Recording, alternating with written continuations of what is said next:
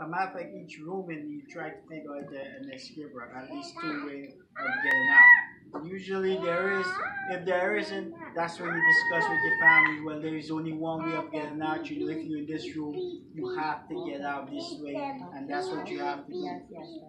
You also want to discuss with them once you get out of the building to have a common meeting place, like a, a, a area where everyone knows that if there's a fire and we get out and we get separated, we all have to meet up at this spot. All right? Maybe it's a, the neighbor across the street, or maybe it's a corner store, or maybe it's an intersection. But everyone in your family that lives in that in that house with you, or apartment, you want them to understand, including the younger kids, that if we have to get out, this is where we're going to meet up. And you want to practice that as, as a fire drill, just as how you might, the kids might uh, practice a fire drill in school. You want to practice that before your home also and make it as real as possible. Most fires usually happens when you're sleeping. So maybe you have the drill at night when everyone is in, in sleeping.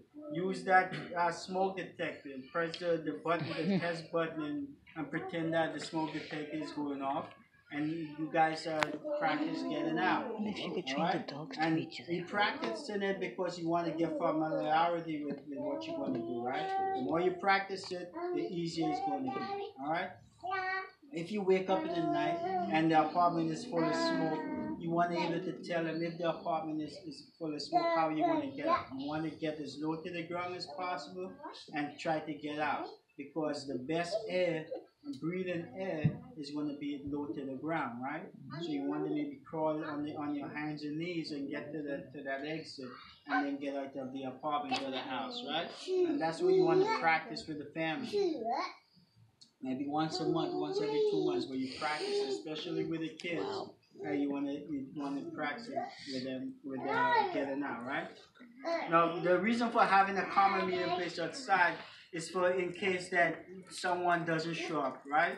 Maybe you know you went um but thank you. You you went to bed, you wake up, there's a fire, everyone gotta get out and you know that you're gonna meet at this spot on down the street. And for some reason you get there and, and, and someone is missing. You know that you could tell the firefighter. That's what you, you there for, is to inform the firefighters. We got out, but someone is missing. You don't want to go back in yourself to look for that person because you may never come back out. And that person may not be in the apartment. They might have come out, right? And, and maybe someone uh, went in and took, if it's a young kid, someone might have saw them coming out and take them to a different spot, not knowing they were supposed to be meeting you there, right? If it's an adult, they might have got sidetracked and instead of uh, coming to the spot, they, they may have tried doing something else and went somewhere else. And but you not knowing that, you think they're inside, you go back in, and now you put yourself in danger when they already safe. So you never want to go back into a burning building. You want to wait, tell the firefighters when they, once they get there that someone is missing, and the firefighter is going to go look for that person. All right? And that's the reason for having that uh, meeting spot outside. Um, with the, the cold weather coming up, a lot of people use um, smoke. Uh, uh, I'm sorry, space heaters to heat their home, right? And that's in itself is not bad. What is bad is if they might have bought the wrong type of space heater, and also how they uh, they use it, right? So if you're buying a space heater, if you know someone that uses space heater to keep the apartment or the room uh, warm in the wintertime, you gotta let them know. Listen, buy a space heater that when if you, it tips over, it have that uh, automatic shut off that would shut it off. All right. You don't want to buy the older type that no matter how, what position it is, is, is going to be running. All right. You also want to tell them to keep it away from the furniture, the bed, the uh, the nightstand, the the, um, the drips, the curtains. All right. The the clutter in the room. You don't want to have that around the, the, the space heater, and it's common reason, right? It's producing heat, and if something is on top of it for extended period of time, that thing is most likely to, to go on fire. So you gotta tell them, keep an area at least three feet uh, circumference around that space heater. You don't want it close to the bed because in the middle of the night when you are you wake up to go use a bathroom or something, you might throw that comforter off, cover that that uh, space heater, and and you might start a fire that way. So you also want to tell them be careful of where they put it. All right. Also, you don't want to plug it into an extension cord. All right. You want to plug it directly into the wall outlet. And the reason for that is that most extension cord that you will find does not is not rated to, to, to um, supply a space heater. All right. So our common uh, rule of thumb that we use is that if anything anything that heats up or cools down something, you don't want to use an extension cord for it. You want to plug those items directly into a wall outlet. All right. So if you have a space heater, you want it directly into a wall outlet.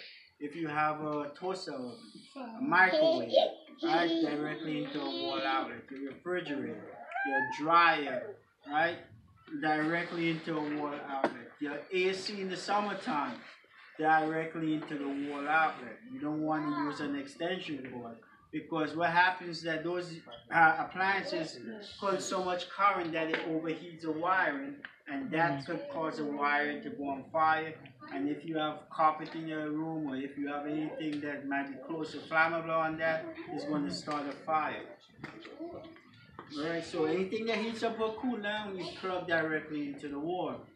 A lot of people um, get extension cords and to, to, I guess, power any item. You're running maybe the TV across the, on the other side of the bed or something like that. If there's no outlet where they want to put their, that TV, so they plug in the extension cord on one wall and run it across the room to plug in the TV.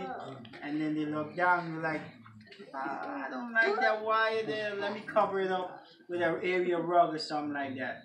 Right? Bad idea because what happens? You cover it up, you don't see it, but it's still there and you walk in in that area, right? So eventually by you walking and the foot traffic, you will probably break the wiring in that extension cord. Mm. And the rug on top of that, the, the wire, the extension cord is already generating heat and eventually the wire is going to fray and you're going to start a fire with, with that extension cord, right? So if you want to use an extension cord, do not hide it on the route. Do not hang it on nails or around uh, across a room or, or, something like that. You want to be able to be visible and, and, and put it in a position where it's not going to be stepped on or, or, or where you could break that wire. All right?